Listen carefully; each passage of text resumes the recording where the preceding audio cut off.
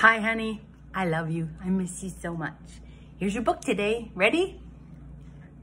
Does a tiger open wide?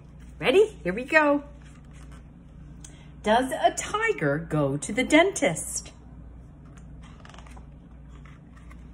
Oh no, a tiger won't sit in a dentist chair. Does a giraffe go to the dentist? Oh, no way. A giraffe won't wear a dentist bib or cooperate for a checkup. Does a baboon go to the dentist? Surely not. A baboon would not allow the dentist to put instruments in its mouth. Does a crocodile go to the dentist? Never. A crocodile would never permit the dentist to take pictures of his teeth. Does a wolf go to the dentist to get his teeth cleaned?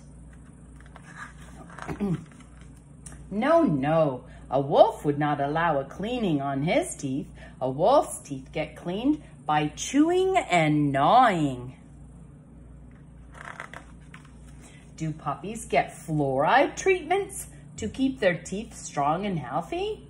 No, Puppies don't get their teeth painted with fluoride to prevent cavities.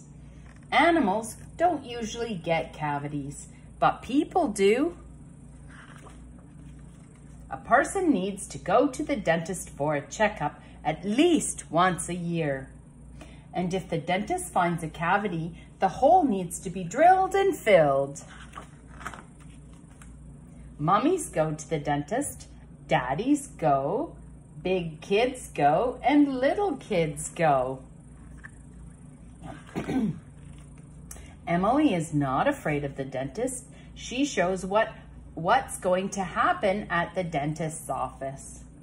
And she knows she'll get a surprise when she's done. Good job, Emily. Which toothbrush would you like?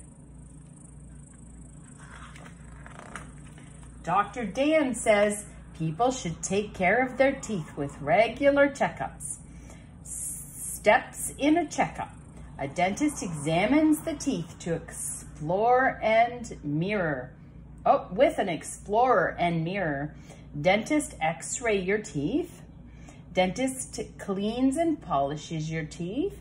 A dentist gives a fluoride treatment. A dentist gives a toothbrush and explains how to take care of your teeth.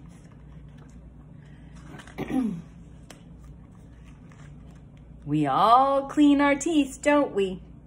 Uh, I know you've been to the dentist. The end. I love you.